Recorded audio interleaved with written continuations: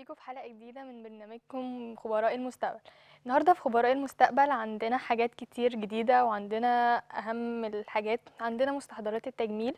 معانا الأستاذ علي المليجي آه، مدير عام مصنع المليجي للصابون الطبيعي ومستحضرات التجميل الطبيعية وخبير لعلاج مستحضرات التجميل.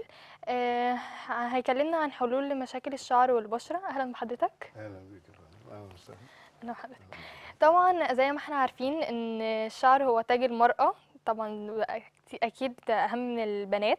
آه، بس للأسف الأيام دي بنعاني من مشاكل التقصيف وال- والقشرة وال- والتساقط. يا ترى إيه بقى ممكن حضرتك تقول لنا كده العلاج الطبيعي ليه؟ بالنسبة لتساقط الشعر وتقصفه بيبقى له سببين. آه، سبب خاص بالتغذية الداخلية وسبب خاص بالتغذيه بالتغذية الخارجية. التغذية الداخلية وهو آه، اعتماد آه، خاصة أو بعض الناس أو بعض الشباب على تناول الأطعمة ال- ال- الجاهزة. المضرة. آه. وبنسيب المنتجات الطبيعية. فالحل عموما هو العودة للطبيعة. العودة للطبيعة. مظبوط. إزاي؟ أنا النهارده بالنسبة لل- لموضوع الشعر. اولا ده سوء تغذية. لازم أحط رقم رقم واحد سوء تغذيه بمعنى إن في نقص فيتامينات معينة فعلى طول تحليل أنيميا. ما عندوش أنيميا؟ آه. أدخل بقى في التغذية السليمة داخليا وخارجيا. التغذية الداخلية بتتلخص في تناول آه، جميع أنواع الخضروات الخضراء الغامق اللون الأخضر الإيه. الأخضر الغامق. زي. الملوخية زي السبانخ الخبيزة الجرجير. دي حاجات مفيدة جدا جدا جدا لمنع تساقط الشعر الشعر. وتغذية ال- الشعر. فروة الشعر. وفروه الشعر والشعر عموما يعني. التغذية ال- الخارجية هنا في مشكلة حقيقية وهي استخدام المركبات الكيميائية. وخاصة في بعض المركبات الكيميائية بتبقى موجودة باخد كريم آه، أنا سمعت كريم كذا أو ثمنه كذا أو أو أو كريم معين من الكريمات مظبوط بتستخدمه وبيجيب نتيجة فورية وبعد كده ما تلاقيش الشعر خالص. طب ليه؟ لأنه اعتمد على المركبات أو المكونات الكيميائية الإيه؟ الكيميائية ولكن المفروض إن أنا أرجع بقى للطبيعة واستخدام المواد الطبيعية الآمنة المواد الطبيعية الآمنة. الآمنة يعني أي منتج بس أتأكد إن هو طبيعي لأن النهاردة في كتير بي- بيدعي إن المنتجات دي المنتج ده طبيعي أو المنتج ده فيه مواد طبيعية موجودة ولكن اعتماده الأول على آه، المواد ال- الكيميائية. ال- الكيميائية يعني. على سبيل المثال حضرتك ده نوع من أنواع الزيت اللي هو زيت لافندر. تمام. ده تركيبة خاصة. دي تركيبة خاصة. بفضل الله تعالى معمولة بعناية وبتركيز شديد جدا ودراسة للمواد الفعالة والنسب المطلوبة لتغذية الشعر أول حاجة تعمله تمنع ال- التقصف. دي بقى بالنسبة للتغذية الخارجية. تمام. التغذية الخارجية. تمنع تقصف ال- الشعر تمنع يمنع ال- ال- الهيشان للشعر. بعد دول يبدأ بقى المرحلة اللي هي مرحلة التنعيم والتطويل. يعني بيديني أربع خمس حاجات في وقت واحد. واحد. أولا آمن جدا جدا جدا على أي سن. مظبوط. ليه؟ لأنه خالي من المواد الكيميائية الضارة. هو كله مواد طبيعية. المواد الطبيعية عمرها ممكن تقول لنا المكونات طيب. نعم. مكونات الزيت؟ ال- المكونات الزيت هو فيه بعض العناصر زي هو بيتكون من 11 آه، م- م- م- مادة عنصر. طبيعية. آه. آه، منهم آه، زيت جوجوبا زيت الجرجير آه، زيت الخروع زيت جوز الهند ده من ضمن الايه؟ المكونات. زائد مجموعة فيتامينات المطلوبة فعلا لتغذية الشعر. ال- الشعر ويساعد على ال- الإنبات سد الفراغات الموجودة. يعني في كتير برضه من اللي حصل تساقط للشعر أو الشعر أصلا تالف أو باظ نتيجة استخدام مواد كيماوية. معينة أو بعد عمل بروتين بتبص تلاقي الش- الشعر إيه؟ آه، سقط أو الكلام ده كله. تمام. فمجموعه الفيتامينات دي تعيد للشعر نمو نمو من جديد. من جديد. ده بالنسبة لل... لل- لل- للزيت. طيب في ناس النهارده مش عايزة تستخدم زيت كدهان آه. طريقة استخدامه. بتستخدم عندي هنا الكريم اللي بيتعمل بيه زيت هو برضو كريم لافندر كريم شعر لافندر طبيعي 100% بيتعمل حمام زيت. لمدة ساعتين أو ثلاث ساعات بطريقة طبعا الحمام اللي هو بيد- بي- بيدهن وبعدين يتلم فوطة سخنة و... الشعر بمية سخنة ولازم يتغطى تمام لمدة مظبوط. ساعتين عشان يحتفظ بدرجة ال- ال- يبقى الشعر محتفظ بدرجة الحرارة يمتص ال- ال- المواد الموجودة ويستفيد إيه؟ ويستفيد منها. ده بالنسبة لل للشعر؟ آه. عندي بالنسبة للشعر فيه آه، استخدام بعض الشامبوهات. يدعي أصحابها بأنها آه، طبيعي. دي بتعمل مشاكل كبيرة جدا جدا في الشعر. إحنا عشان كده قلنا لا. إحنا خلاص إحنا واخدين منهج كمصنع المليجي للصابون الطبيعي ومستحضرات التجميل. بفضل الله تعالى والمنهج ده اتعرفنا بيه سواء كان داخل مصر أو خارج مصر. فالحمد لله رب العالمين إن إحنا لا نستخدم إلا المواد الطبيعية فعلا. وما نقولش على منتج إن هو هيعمل كذا بدون ما تكون دي آه، حقيقية. ما ينفعش. فعملنا البديل لل آه، للشامبوهات؟ للشامبو السائل. وهو يبقى يعتبر شامبو صلب صابون الصلب. دي صابونة إحنا يعني اطلقنا عليها اسم آه، الصابونة الشاملة. مكونة من إيه الصابونه الشاملة؟ الصابونه الشاملة. دي ال ال الاساسي فيها زيت اسمه زيت البيلسان. لأول مرة تصنع هذه الصابونة. أنا ما شفتش أي شركة موجودة أو أي حد قبلنا بفضل الله تعالى صنع صابونة من زيت البيلسان. من زيت البيلسان. ال- زيت البيلسان مع زيت جوز الهند مع زيت الخروع مع مجموعة بقى الأعشاب الموجودة ودي باينة. أولا ما فيش لون ما بنستخدمش لا كلر ولا ريحة أبدا. مظبوط. كل ال- ال- الزيوت الموجودة أو الريحة اللي موجودة ديت دي الزيوت العطرية المكونة للإيه؟ آه، آه، للشعر. ليها أولا تدي تنعيم لل- لل- للشعر تنظف تزيل آه، أو تمنع عملية انسداد المسام مم. الموجودة سواء كان للشعر أو للإيه أو آه، للبشرة عندي هنا دي صابونة آه، صابونة الألوفيرا طيب آه، إحنا معروف. هنرجع نكمل مع حضرتك. ونستقبل بس الاتصال ده عشان معانا بقاله فترة ومعانا نهى. اتفضلي يا نهى. ألو السلام عليكم. أخبار حضرتك يا استاذه همس أخبار حضرتك إيه؟ آه، الحمد لله. أنتي عاملة إيه؟ الحمد لله الحمد لله. ممكن أكلم الدكتور؟ طبعا اتفضلي. عندك أي آه، سؤال؟ اتفضلي يا وسهلا. أهلا وسهلا. بحضرتك يا دكتور والله أنا حابة إن أنا أشكر حضرتك. على فكرة أنا جربت منتجات حضرتك. فبقى. ألو؟ ألو؟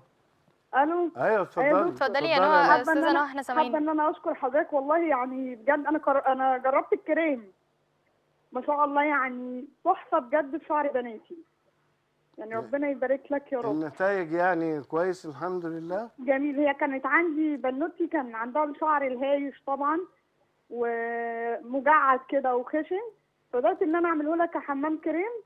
بس ما شاء الله والله يعني أنا ماشية عليه تقريبا بقالي سبع ثمان شهور يعني النتيجة بجد هايلة. الحمد لله. شكرا. ربنا يبارك لك يا رب. وبعدين هو تقل فعلا الشعر والشعر عندي ما كانش اللي هو بينمو ده ما كانش بيطول. يعني عمل فرق. كويس يا أستاذة نهى؟ لا ما شاء الله والله جميل جدا والشعر طول وتقل معايا. يعني المنتجات طبيعية. طبيعية 100% لا طبيعي أنا جربت على فكرة كتير جدا جدا جدا يعني ما فيش حاجة نفعت. كلها كده يعني حاجة يوم اتنين وال- والهيشان عندي كان مضايقها طبعا بتتحرج وسط أصحابها في المدرسة. فلقيت إن لأ النتيجة كانت حلوة والهيشان ده راح خالص. بقدروا يعملوا تسريحات زي ما هم عايزين حاليا دلوقتي. فربنا يبارك له بجد والله يعني. حبيت إن أنا أشكره كتير كتير على المنتجات الجميلة وطبيعية يعني مش فيها بقى حاجات كيماوية ولا الكلام ده كله خالص. تمام يا أستاذ نهى عند عند حضرتك أي استفسار تاني؟ لا متشكرة جدا. عموما لو. في أي حاجة كمان حضرتك ممكن تيجي المعرض وعندنا حالات يعني خاصة استقبال للحالات الخاصة كمان. نقدر نصنع حاجة حاجات خاصة حسب الاحتياج. شكرا لحضرتك يا أستاذة نهى. ومعانا للتواصل مع الدكتور علي المليجي. معانا الأرقام أسفل الشاشة. ونرجع تاني بقى لحضرتك للشامبوهات البديل الصابون البديل للشامبو. طيب بالنسبة اللي قلنا لحضرتك دي ال- الألوفيرا. معروف طبعا الألوفيرا اللي هو الصبار البلدي. أهو. الصبار آه، البلدي آه، بتاعنا. اولا أنا عندي هنا في عنصر أساسي في جميع ال- ال- المنتجات أو لجميع المنتجات سواء كريم سواء صابون. العسل النحل البيور. وشمع العسل مظبوط. دي حاجات أساسية موجودة آه، عندي. دي آه، صابونة اللي هي صابونة الألوفيرا من لب الصبار من الداخل. مع العسل النحل مع مجموعة زيوت آه، مشتركة.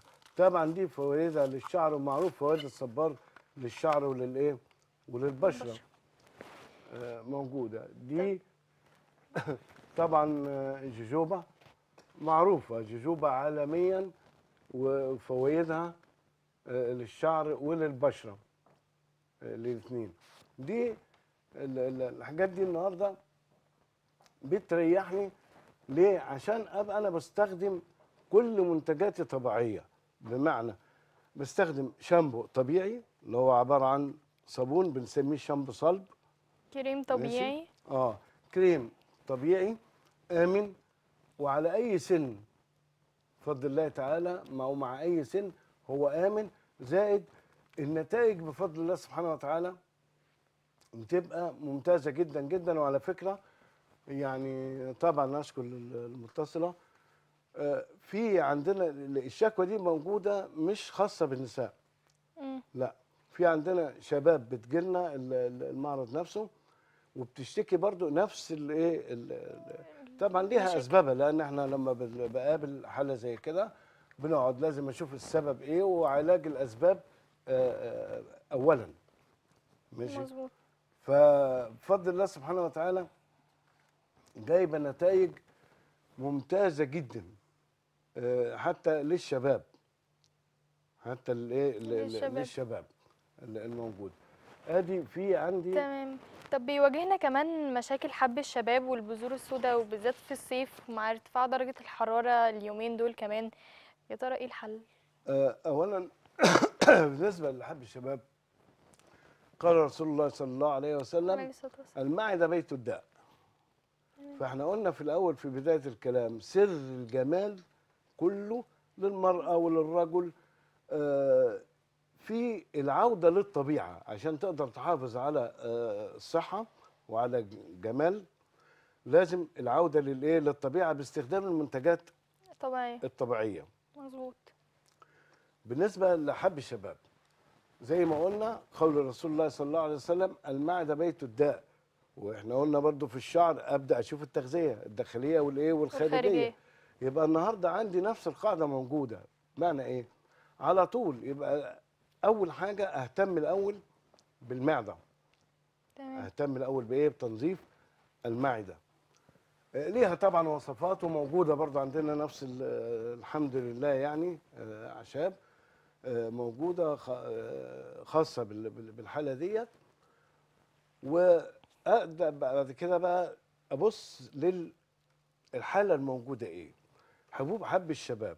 هل هو حب حجم كبير حجم صغير؟ لأن كل حالة وليها آه، علاجها. حاجة معينة. ماشي. يبقى في حب شباب آه بتاع التوسعه عشان ما انساهاش. لا بلاش العصر الايه العصر ده لل- لل- للحباية. ليه. هتسيب آثار. هنا في استخدام بعض المكونات أو بعض مركبات كيميائية هتشيل الحباية موجودة. مش عايز أقول أسماء آه، معينة أو أسماء مواد حتى كمان. تمام. ماشي. ولكن هتسيب آثار. طيب نتلاشى الموضوع ده إزاي؟ بطريقة علمية. لازم بسم الله. إحنا عملنا هنا كريم خاص بحل المشكلة دي. كريم المر والكركم. معروف فايدة المر. المر ده أقوى مضاد حيوي طبيعي. أقوى مضاد حيوي طبيعي 100% يستخدم داخليا وخارجيا. بمعنى التهابات المعدة قرحة المعدة الكلام ده كله المر بيتداوب بطريقة معينة وبيتشرب ده داخليا. تمام. خارجيا مع الكريم ماسك مر وكركم وعسل آه، نحل. وبعض المستخلصات طبيعي. الموجودة. الطبيعية تمام. بتعمل إيه؟ اولا زيلة تشيل حب شباب. وأي التهابات موجودة في البشرة أو في الجسم عموما حتى آثار الحروق القديمة. يعني في حاجات بعض آه، آثار للحروق أو تعرض للشمس. زائد مادة الكولاجين الموجودة معاه بقى بتديني التفتيح ماشي وشد. التجاعيد. شد تجاعيد البشرة. البشرة. طبعا الموضوع ده شد التجاعيد في بعض الناس أو أو أو أو يعني يستهتر يقول لك لا الكريم ده هيشد تجاعيد. أقول له آه جربه. أنت دفعت فيها إيه؟ اولا إحنا بالنسبة لأسعار أنا ما بحبش نتكلم في الموضوع ده كله ولكن أقل وأرخص أسعار موجودة في متناول الجميع. ولكن أنا نفسي وحد يجي يقول لي آه أنا خدت حاجة وما عملتش نتيجة. تعالى المعرض موجود ويقول لي أنا خدته وما عملتش نتيجة. ده. فرد تجاعيد الب... ال... ال... فرد البشرة. تعرف حضرتك فرد ال- البشرة ده بيستخدم في حاجات كتيرة أو بيستخدموا له وسائل إيه؟ وسائل كتيرة. لكن بفضل الله تعالى آه، بفضل آه، الكريم واستخدام الكريم والمداومة عليه بيشيل حب شباب الفرد آه، التجاعيد أي التهابات موجودة في البشرة وتفتيح بشرة. تمام. للأسف فقرتنا خلصت مع حضرتك سريعا وإحنا بنشكر حضرتك جدا. كان معانا النهارده الدكتور وأستاذ علي المليجي من مصنع لافندر المليجي وبنشكركم مشاهدينا ونرجع لكم في الفقرة اللي بعدين بعد الفاصل.